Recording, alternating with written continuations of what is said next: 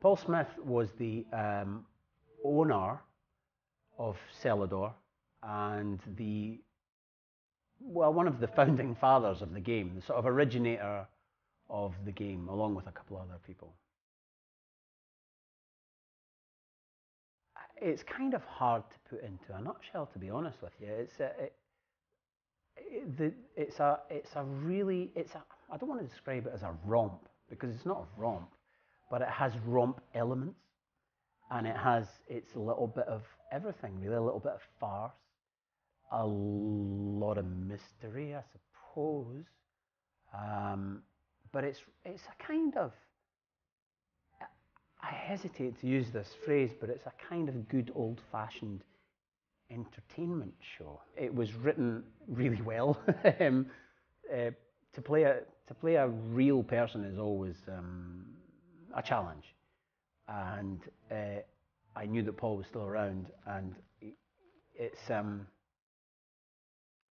it, it, it, was a it was a fantastic story, and the fact that people are still talking about it now, and the fact that people are still making television programs about it now, is a testament to its longevity and its uh, it's the way it's captivated the, the nation really, and the way it captivated the nation then and still does now. Playing a real person is, is, is more pressure than making up a person because you have to kind of be you want to do it well for them.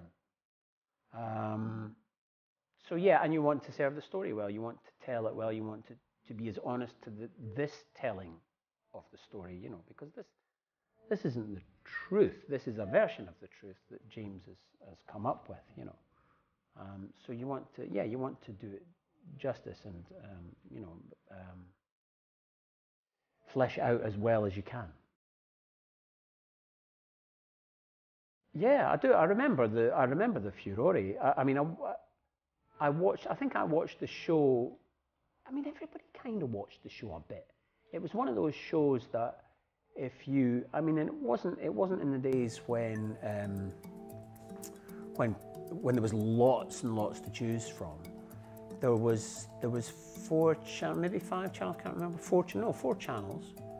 Um, I think when it first started out um, and so if you kind of, if it was on and you found it when you were kind of flicking, you stayed with it. You know, it was one of those shows because it was all, it always at some point guaranteed some drama and also it was great knowing the questions when they didn't, you know.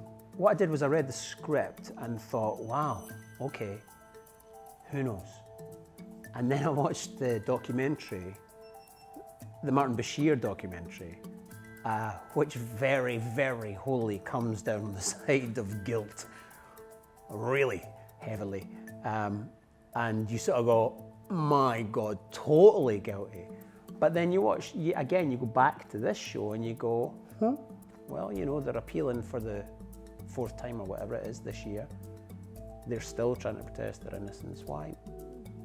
You know, you sort of go, well, why would anybody guilty do that? You know, put themselves through that if they weren't. But then you speak to Paul, and Paul was absolutely guilty.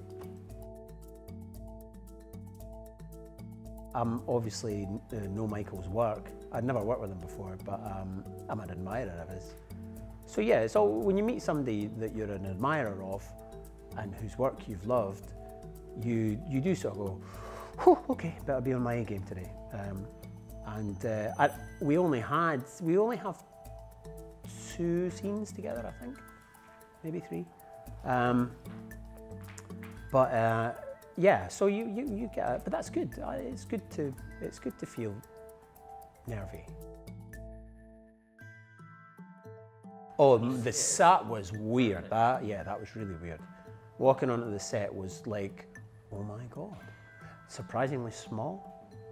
Given this is the, you know, uh, it's amazing when you do like I did CBeebies bedtime stories, right, a wee while ago, and you go onto their set and it's tiny.